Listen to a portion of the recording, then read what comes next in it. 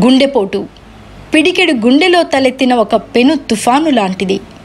నిరంతరాయంగా నిర్విరామంగా పనిచేసే సజీవ యంత్రానికి గుండెపోటు రూపంలో సుడిగుండం ఎదురైన ఆపత్కాలంలో ఛాతీపై పెద్ద గుదిబండ ఏదో పెట్టినట్టుగా ఛాతీ మీద ఎవరో ఎక్కి తొక్కుతున్నట్లుగా తీవ్రమైన నొప్పి లాంటి అసౌకర్యం ఏదో చాలా తీవ్రంగా ఉంటుంది.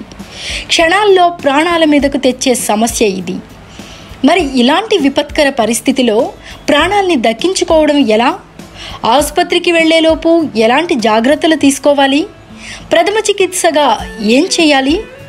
గుండెపోటు వచ్చిన ఆపత్కాలంలో రోగికి గుండె నొప్పిగా అనిపిస్తోందని తెలిసిన వెంటనే అతడి చేత ఒక గ్లాస్ నీరు తాగించాలి. కొన్నిసార్లు వెంటనే ఈసీజీ తీసే సమయం కూడా ఉండకపోవచ్చు. పరిస్థితి కాస్త తీవ్రంగా ఉందనిపిస్తే వెంటనే డిస్ప్రిన్ త్రీ హండ్రెడ్ ఎంజీ మాత్రను నీటిలో కలిపి తాగించాలి. కూర్చోబెట్టి కానీ పడుకోబెట్టి కూడా తల కాస్తంత పైకి లేపి కానీ డిస్ప్రిన్ మూడు వందల మిల్లీగ్రాముల మాత్ర కలిపిన ద్రావణాన్ని తాగించవచ్చు ఆ తర్వాత సార్బిట్రేట్ మాత్ర వెయ్యాలి. దీంతో వెంటనే నొప్పి తగ్గిపోతుంది. ఆ తర్వాత సాధ్యమైనంత త్వరగా శరీరానికి ఏమాత్రం శ్రమ కలిగించకుండా ఏదో ఒక వాహనం మీద రోగిని ఆసుపత్రికి తరలించాలి. రోగి తనంతట తాను తీసుకునే డిస్ప్రిన్ మాత్ర డాక్టర్లు ఇచ్చే స్ట్రెప్టోకైనేస్ ఇంజెక్షన్తో సమానంగా అనిపిస్తుంది. అందుకే గుండె నొప్పి వచ్చిన వారికి సార్బిట్రేట్ కన్నా డిస్ప్రిన్ చాలా ముఖ్యం. డిస్ప్రిన్ మాత్రను నీళ్ళలో కలిపి తాగించడం వల్ల వెంటనే ఒంట్లో అది కలిసిపోతుంది.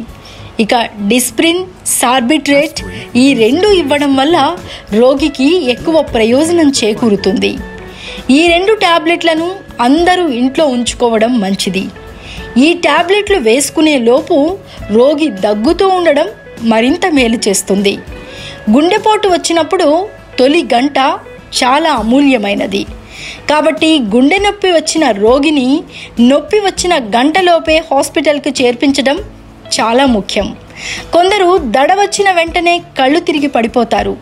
గుండె వేగం బాగా తగ్గిపోవడం వల్ల ఇలా పడిపోతారు. దీన్ని సింకోప్ అటాక్ అంటారు. ఇది గుండె జబ్బుకు సూచన. గుండె దడతో పడిపోయిన వారు మాత్రం రెండు నిమిషాల్లోనే మళ్ళీ తేరుకుని లేచి నడవగలరు.